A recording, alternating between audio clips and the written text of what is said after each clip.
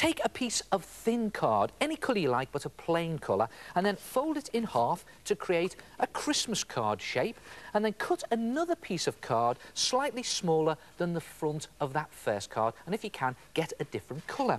And then take that piece of card and draw a circle on it. Draw a circle in the middle, and the idea is to draw your Christmas card design on that circle. Now, you're going to be doing a fat Christmas card, so do a design of something that's fat. And at this time of year, what's fat?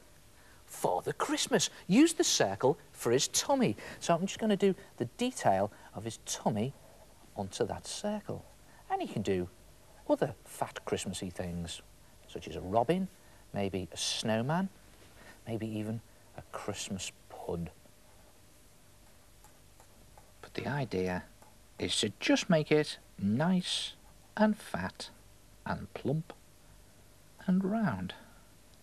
And once you've put the fat bit in, put the rest of the detail around your circle. Uh, just do his beard and his moustache and his jolly round face. Again, nice and plump. And little cartoony eyes in there. Just keep it really simple, nothing too detailed.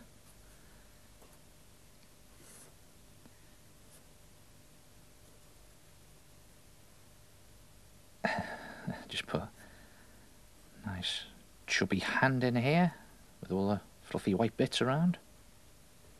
It's quite easy to draw Santa, isn't it, really?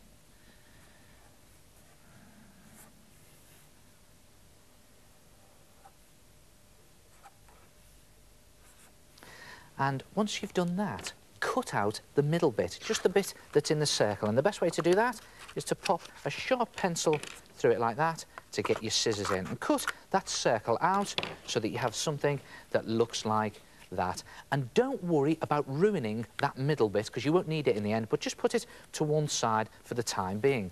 Then take a piece of thin drawing paper and soften it up by crunching it up and opening it out. And the idea is to make it very soft by creasing it loads of times. Now, you won't believe it, but I've been doing this one all day, and look at that. It's really nice and soft now. It's got loads of creases in it.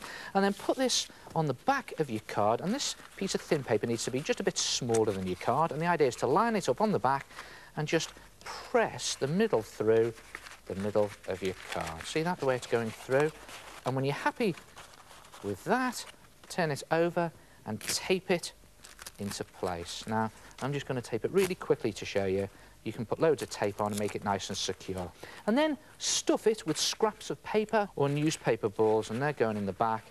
And when you're happy with that, see that? Nice stuffing there, so it's nice and fat. Just tape all of that stuffing into place on the back, just to make it secure. And then put some glue, nice strong glue, around the back, a couple of dabs in the corner. Now, it looks a bit of a mess at the moment, but don't worry, because if you bring the other card back in, pop that into place, and then just position this very carefully over the card and then press it into place. And all that glue squelching down and his tummy is squelching out. And then put it to one side to dry. And when it's dry, you just bring that circle that you cut out back in and then copy the detail from the circle onto your nice fat tummy. And it doesn't have to be perfect or anything at this stage because we're going to be painting it in a minute. And you just press very lightly with your pen. You don't want to go through the paper.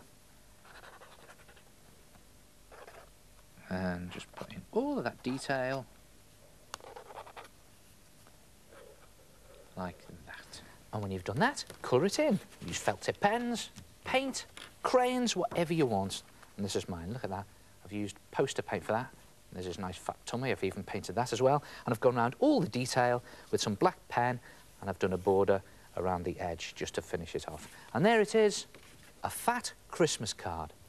And you can do any Christmassy design you like as long as it's fat, plump and round. Oh, and there is one other thing. Make sure you do your card so it stands up this way, not that way. Otherwise, it'll fall over because it's too fat. Try it yourself a fat Christmas card.